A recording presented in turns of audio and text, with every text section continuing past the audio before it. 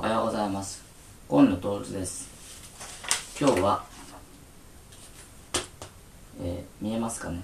古くて良いもの伝統対古くて悪いもの慣習制度制度じゃない。前例についてお話をしたいと思います。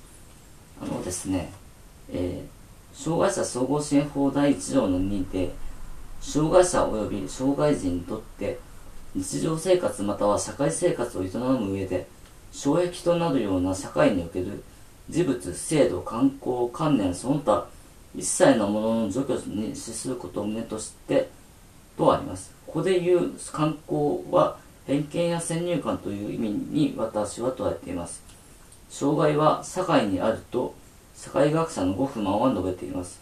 私は憲法14条第憲法第14条法の下の平等を信じています。社会的身分によって差別があってはいけないと私は思います。え障害者だから女性だから学歴がないから人種が違うから差別と差別があってはいけないと私は思います。それではわかります。今日は、えー、古くて良いものの伝統と対古くて悪いもの、え今週前例の違いについてお話をさせていただきました。どうもありがとうございました。さようなら。